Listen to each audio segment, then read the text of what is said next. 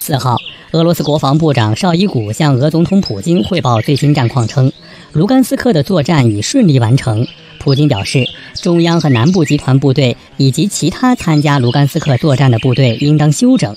东部和西部集团部队要继续按计划行动。俄罗斯国防部三号称，俄军与卢甘斯克武装完全控制了乌军在卢甘斯克地区控制的最后一个主要城市利西昌斯克市。乌克兰武装部队总参谋部三号发布公告，证实失去对利西昌斯克的控制，但同时表示，乌军只是进行了战术性撤退。乌克兰总统泽连斯基也表示，乌军之后将重新集结，希望借助美方输送的海马斯多管火箭炮系统等武器，夺回相关地区的控制权。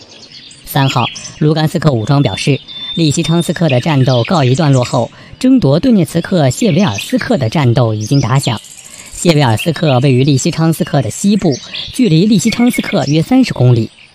乌克兰二十四频道援引乌克兰南部国防力量协调联合中心消息，乌克兰国旗已在蛇岛重新升起，该地区已归乌克兰控制。